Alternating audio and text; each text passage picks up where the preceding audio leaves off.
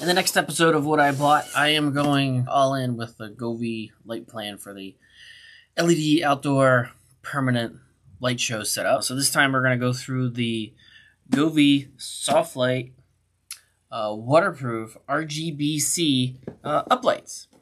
It is pronounced uh, Go V or Gove E. Uh, leave a comment as to how you think it's pronounced.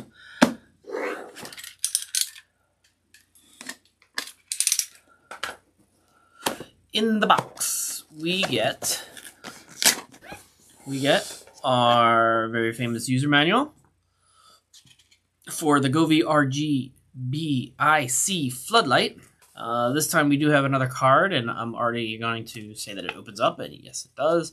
So we got a little Join Govee Home, little little little advertising piece for Govee um, uplights, which I find uh, very nice. Full disclosure, I already have a pack of these set up out front, and we'll go through that in a little bit. Comes with four lights in the box, nicely, neatly tucked in there and packed. I do really like the uh, waterproof uh, connectors. This stuff on the inside. And that's all we need. With the four ground lights, that's how I'm using them. It does come with four stakes, which is uh, very handy to have. These are plastic. They feel nice. They're robust. They do the job. Push those to the side. Move the lights slightly over. Uh, we'll go through this piece. So the spacing between lights is, if I recall, about six to eight feet.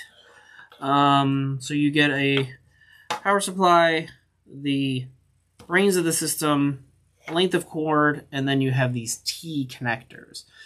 Uh, what's interesting about the T connectors, you know, I mean, obviously now you have a fixed uh, dimension, and then the end is just a, a single tail at the end. Um, careful thing to note that these are not waterproof. Uh, so when using these outside, we're going to get into this in, in just a second. Connecting them is quite easy. Uh, we just thread them into the holes.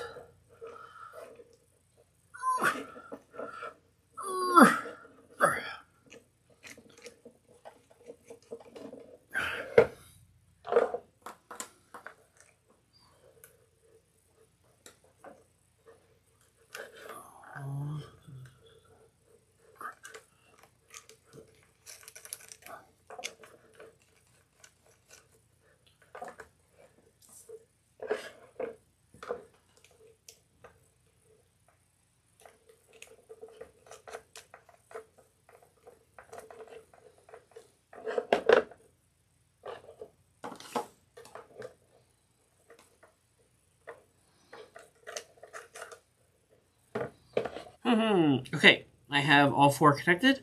Now we need the instructions. I'm going to the user manual. User manual. Search for H7060. So we'll do that now on the iPhone. Okay, with a little zoom in here, I got the Govee app, the four lights. I should plug them in. So I got my handy plug here. I'm gonna plug it in. There we go. Things are happening. Okay. We're going to add a device. We are going to search for what it told us to search, which was H7060. The Govee RGB floodlights. Click. Oh, maybe I should push something. Connecting. The device is pairing short press the on off button. There's an on off button in here in this controller. Short pressed. We are done. We like renaming things early in the process here, so I'm going to name these left. Front left, flood. There we go. There we go. Okay, so now I got, uh, I'm on my Wi-Fi and it's logged in and I'm saying done. I'm in. Version update. A new version is available. Update now. Uh, upgrade now. There we go. We got a nice little restart. Update successful. Perfect. Spinning wheel. Brightness dim it. Oh, it's a graceful dim. It's not an insta dim. That's pretty nice. Effects Lab.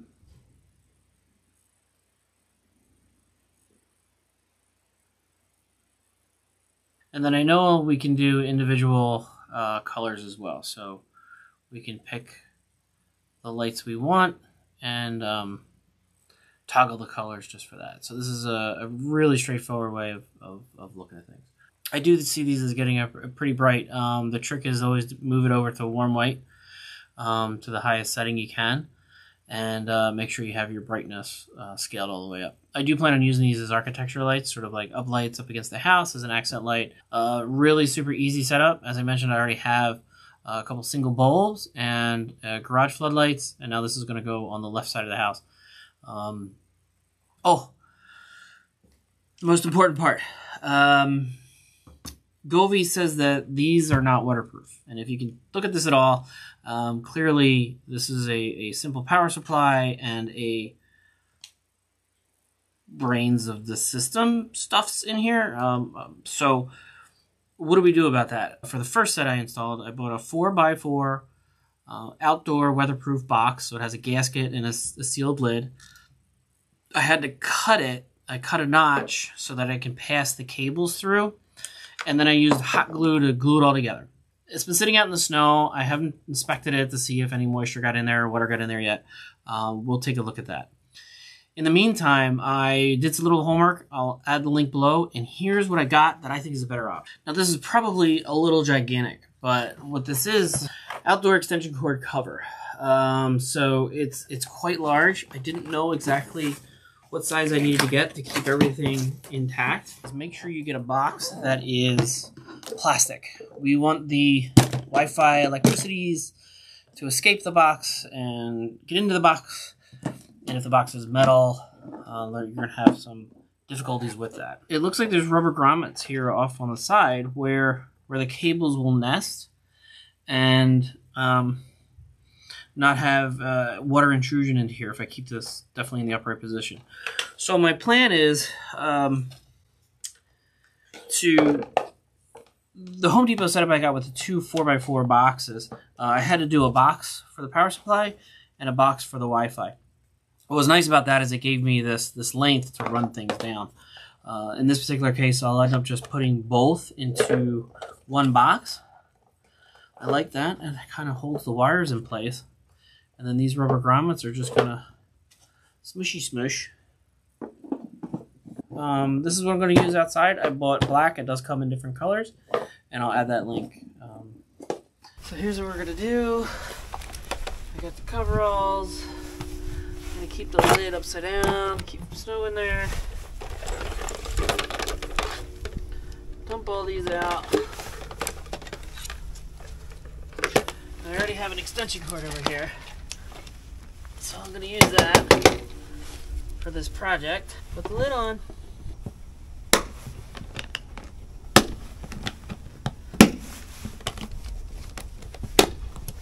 Hide it behind a flower pot. I really feel like that will be better than the thing I made with the 4x4 light boxes. One there.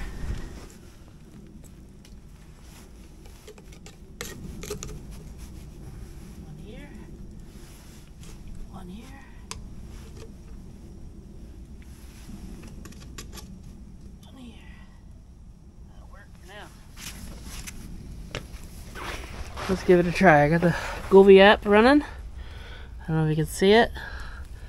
Turn them on. And they're doing their thing. So that was the last mode that they were on with some blinky thing. And we're going to preview my 5 o'clock uh, setup. As purple. Purple up against the house. And uh, then we're just going to turn everything off. Let me show you this over here. This is the side I've had set up before. Um, and it's, uh, they get covered up in snow pretty easily. So if I had a stick behind it when it's buried, I'd be able to find it and then just uh, brush it off easily with uh, a broom. And that's that's sort of my plan for that. Okay, uh, the next photo will be at night. So here we are at the front of the house with the, uh, the added lights on the left hand side and the existing uh, panel lights that I have on the right hand side. So I can toggle them all on and off with the, uh, the phone, which is kind of nice. Uh, but they are running currently through the automation, and that all really works. So the quest for the full LED um, all the time architectural lights is is in full play. Thanks everybody. See you on the next video.